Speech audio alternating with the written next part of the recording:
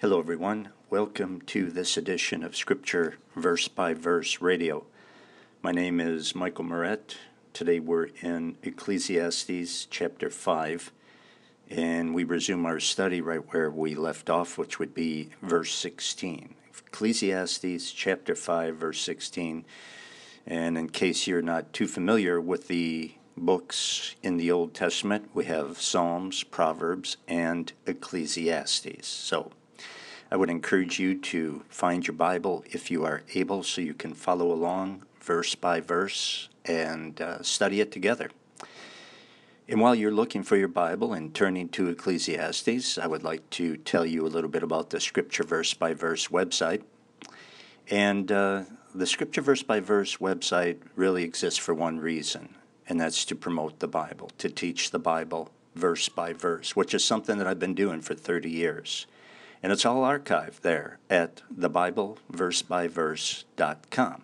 So you can go to the Bible, whatever book you want to study. I always encourage, if you're a first time visitor, go to the book of Genesis, click on chapter 1, and begin in the beginning and study the entire Bible with me, verse by verse, using my audio Bible messages. That's at thebibleversebyverse.com. So, with that, let's begin our study in Ecclesiastes chapter 5, verse 16. Father, sanctify us by your truth.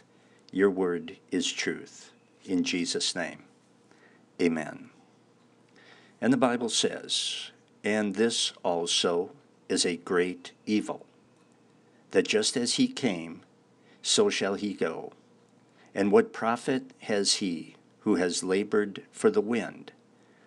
All his days also he eats in darkness, and he has much sorrow and wrath with his sickness. Now, again, if you are joining us for the first time, this book is written by Solomon, and it is written from the perspective of a man who has everything basically that he wants, but he doesn't have God.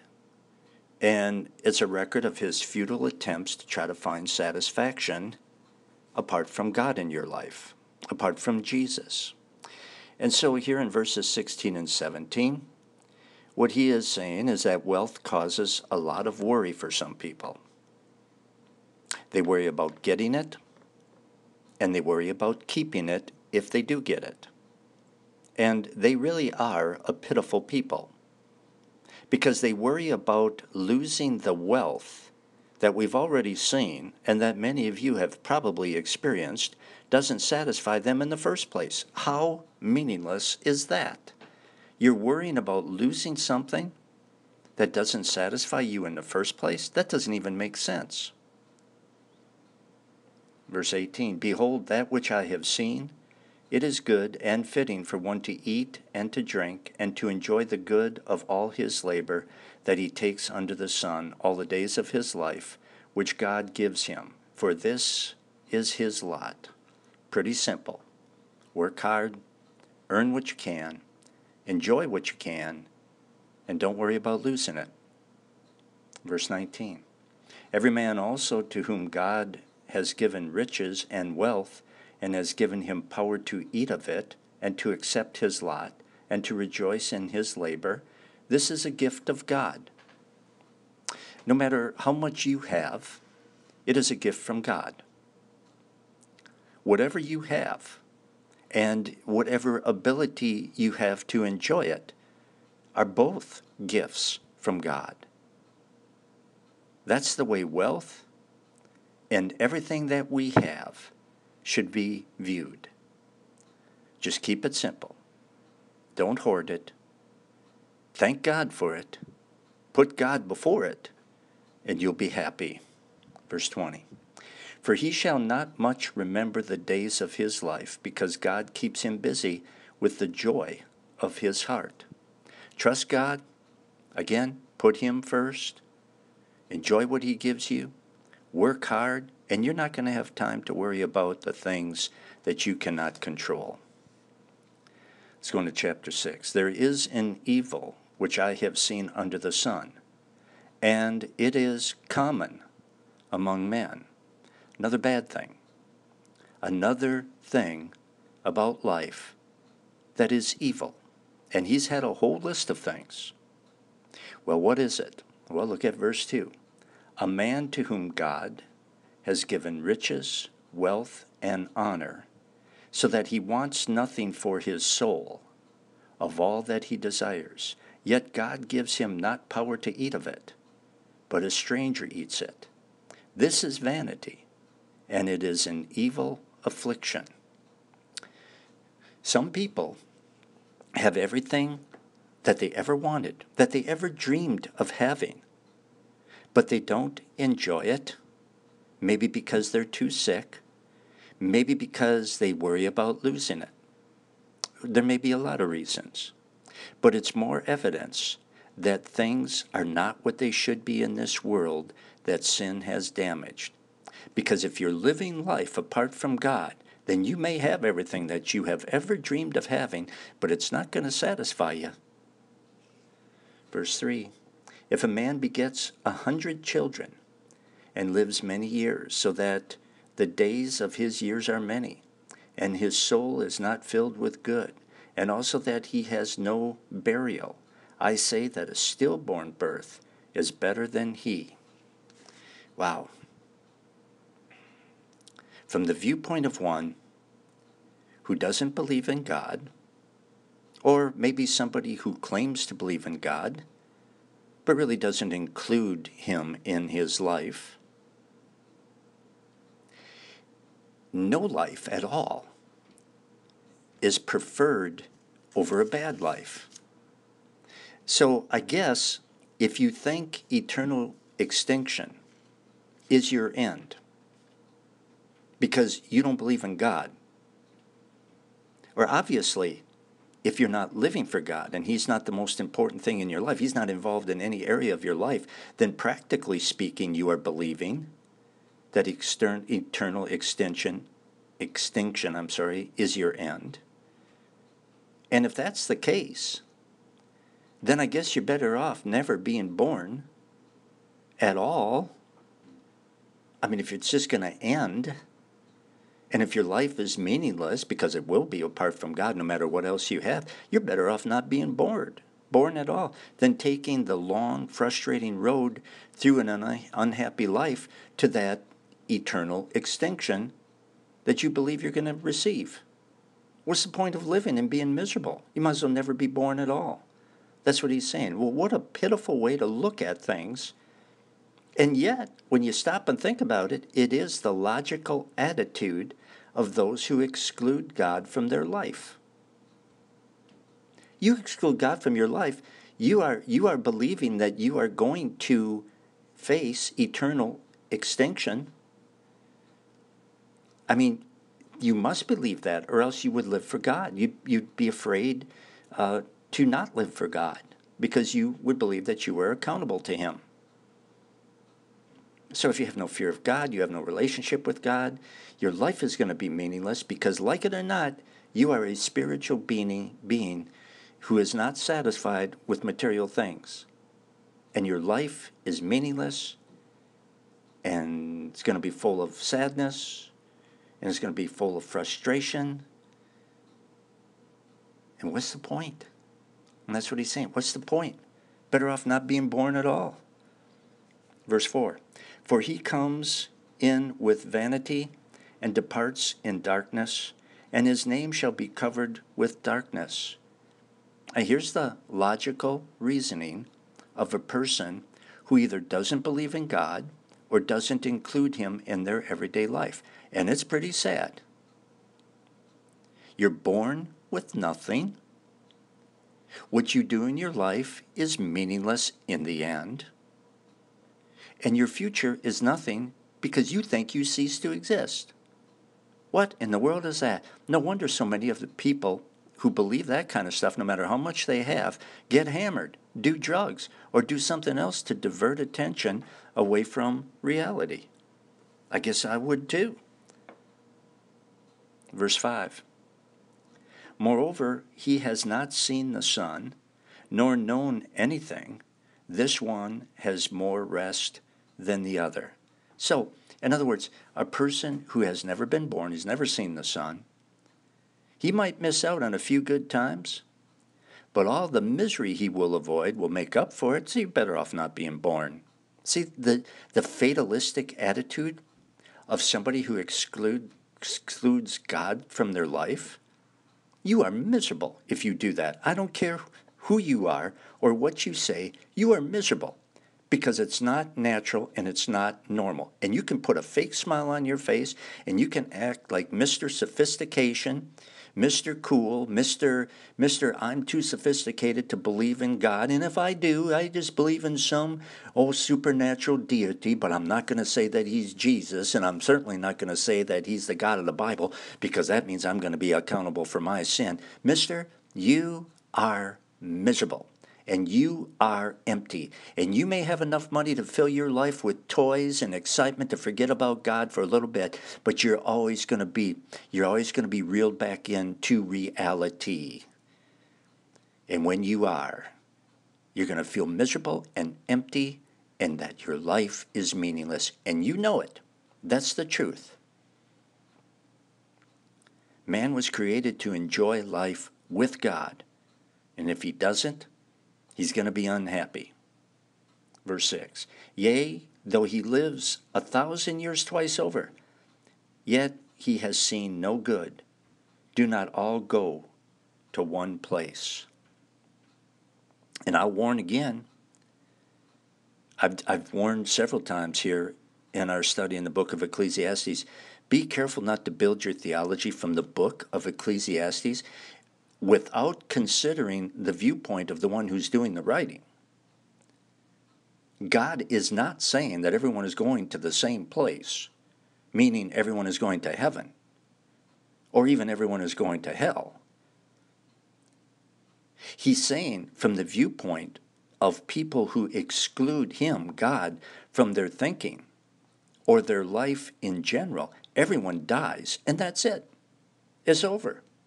And in many cases, that's seen as a good thing. And that's the common end of all people from the perspective of those who live their life without God. Now, it's not true. Well, in a sense, it is in this physical world. That's the end. That's your end, and that's the end of all people. But there's much more after that. Verse 7 All the labor of man is for his mouth, and yet the appetite is not filled. People have appetites. And when you think about it, they work so that they can try to satisfy those appetites. Really. That's why you get money, right? I mean, that's why you work, because you have appetites that you want to satisfy, and you know there's no other way of doing it. But no matter what they may do, they're never completely satisfied.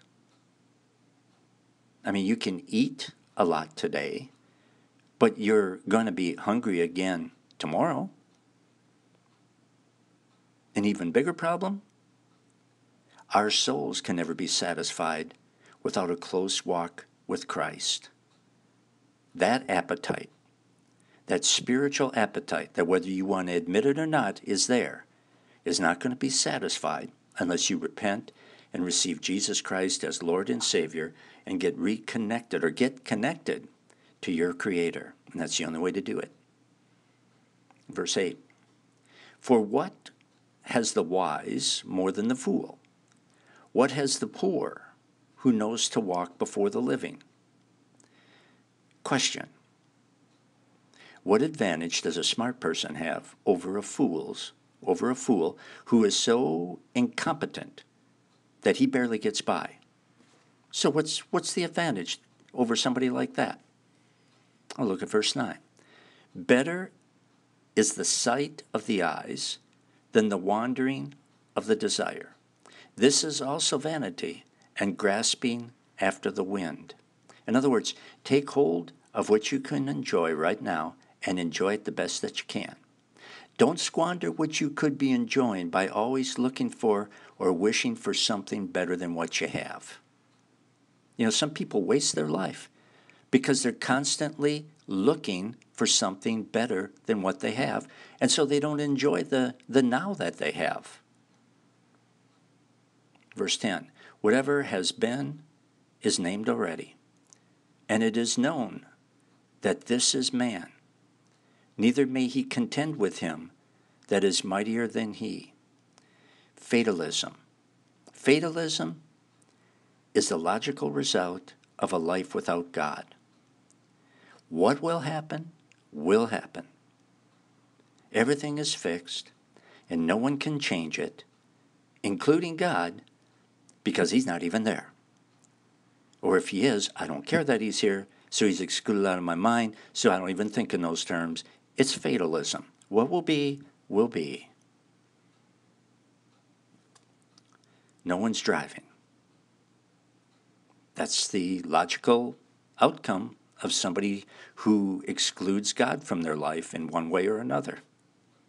Verse 11 Since there are many things that increase vanity, how, how is man the better? If everything is useless in the long run, you're not any further ahead by doing more or having more. How could you be? Why put the effort into having more or doing more when in the long run you're no further ahead? Everything is still meaningless, is what he is saying.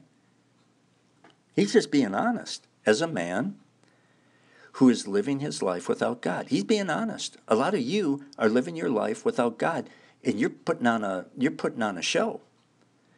You're full of pretense because you try to make believe that your life is so fulfilled. It's not. And don't tell me that it is because I don't believe it. His attitude was, What's the use? Everything is useful, or useless, I should say. Nothing Nothing is worth anything if you reject Christ. That's what you want? You want to reject Christ? You want to live your life apart from God? That's what you want? Well, then that feeling of uselessness and meaningless that comes with it. That's reality. Verse 12 For who knows what is good for man in this life? all the days of his vain life, which he spends like a shadow. For who can tell a man what shall be after him under the sun? In other words, who can say what is best, what is the best way to live, and who can say what happens after we die? Well, if you don't accept the word of God, you you probably feel that way. And a lot of people do. That's where situation ethics comes in. Who are you to tell me what's right?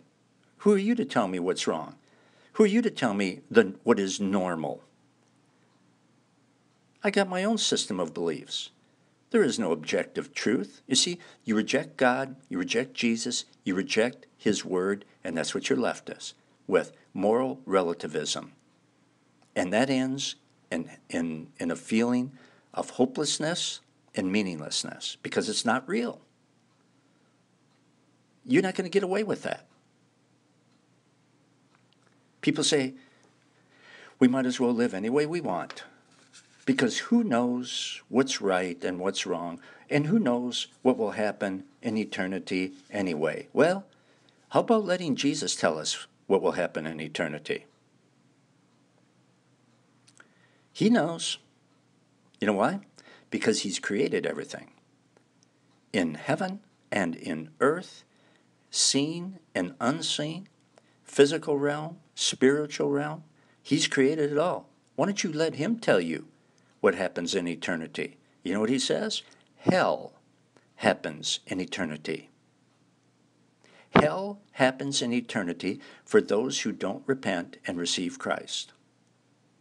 Burning, suffering, torment beyond comprehension that never ends happens in eternity to those who reject Christ. Now let's go into chapter 7. A good name is better than precious ointment, and the day of death than the day of one's birth. If you're a Christian, then the day of your death is actually better than the day of your birth. It really is. Now, if you're not a Christian, then you better prolong your pitiful life as long as you possibly can because the lake of fire is on the other side. Verse 2 It is better to go to the house of mourning than to go to the house of feasting, for that is the end of all men, and the living will lay it to his heart. Every house, your house, my house, if it hasn't already, will eventually become a house of mourning. Pathetic, ungodly, godless Solomon says, It's better to go to a funeral than a party. Because a funeral reminds us that life has a dead end, and therefore, in the end, is meaningless. What a fun guy to be around. According to him, everything ends at death, so why care about anything? Let's just get it over with.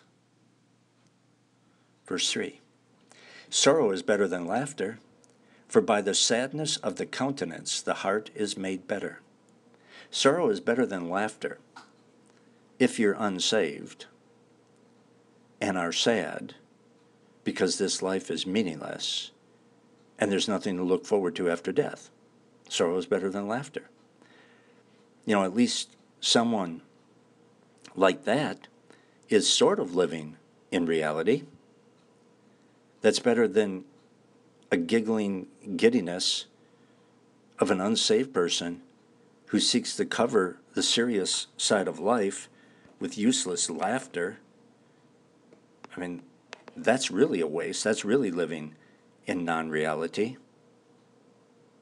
Verse 4 The heart of the wise is in the house of mourning, but the heart of fools is in the house of mirth. A senseless, contrived happiness that ignores reality is not good. That's not a good way to be. Be happy when you can, but don't ignore reality because if you do, then you're going to be in trouble when it, when it catches up to you, and it will eventually catch up to you. Verse 5 It is better to hear the rebuke of the wise than for a man to hear the song of fools. Listening to someone who corrects you by the word of God is time better spent than listening to some immoral and irresponsible person talk foolish. Oh, they'll make you feel comfortable for the moment by helping you to escape reality in your mind, at least for now. But it's going to catch up with you sooner or later, and then it's going to really be bad because you didn't take it seriously enough to prepare for it. Verse 6 For as the crackling of thorns under a pot, so is the laughter of the fool. This also is vanity. Thorns make poor firewood for cooking. Back in those days, it did. Really poor. They burned really fast and they burned really hot, but they didn't burn long enough to cook what was in the pot. So they just gave a quick, hot heat, and that was it. And God says the laughter of fools is like those burning thorns. A lot of noise, crackle, doesn't accomplish anything. And just like the thorns, the fools are being consumed, even as they laughed, even as they laugh senselessly. Makes no sense. It's all a big waste. It's all a big joke. Bad joke. Verse 7 Surely oppression makes a wise man mad, and a bribe destroys the heart. It is bad to be abused. It is even worse to be the abuser, believe it or not. In the long run, that's true. If a person extorts or takes a bribe to pervert justice, they may hurt others. They may make life unpleasant for others. But they are doing greater damage to their own soul and their own mind and their own character than they are to others. let's stop right there for today. I think we've I think we've gone far enough. Um, just a reminder that you can study the entire Bible online at the BibleVerseByVerse.com. That's the BibleVerseByVerse.com, the Scripture Verse by Verse website found at thebibleversebyverse.com. Study every single verse of the Bible from Genesis through Revelation twice. It's going to take you a while to get through it because it is verse by verse. It's not book by book or chapter by chapter. But why don't you begin today to study the Word of God with me? It'll bless you because it's the Word of God. Again, it's the Bible verse by verse.com. Now, if the Word of God blesses you, would you please consider blessing us back? Because your prayers and your financial support are greatly appreciated. It's your prayers and financial support that keeps this ministry going because I'm not underwritten by a large church or a large denomination. This is strictly a faith ministry and has been for 30 years. I depend on the prayers and the financial support of those who are fed the Word of God and blessed by it. And if you want to give, you can at thebibleversebyverse.com. Just click on the uh, donate button on the front page and give in a very secure method using PayPal. That's at thebibleversebyverse.com. And also, if you want to get in touch with us the old fashioned way, our mailing address is Scripture Verse by Verse, Post Office Box 2211, Wausau, Wisconsin 54402 2211. That's Scripture Verse by Verse, Post Office Box 2211, Wausau, Wisconsin 54402 2211. Until next time, this is Michael Meurett for Scripture Verse by Verse. I appreciate you spending this time with me. I always love teaching the Word of God. Always love being in the Word. Nothing better on earth than the Word of God. I'll see you next time. Until then, so long, everyone.